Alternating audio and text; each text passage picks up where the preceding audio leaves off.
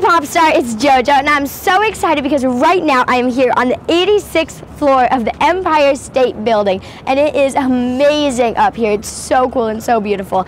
But anyways, I am kicking off my press tour for my Nickelodeon special, JoJo Siwa My World, airing on Nick on August 12th.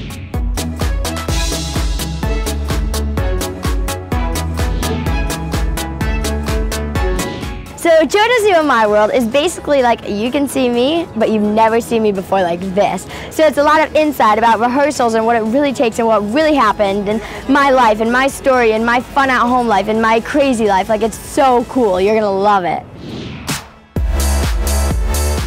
You know, I've been singing pretty much my whole life, and I've been dancing pretty much my whole life. But really, seriously, I've been dancing since I was two years old. That's when I did my first solo. And I've been singing since I was about four, five maybe, but seriously singing nine.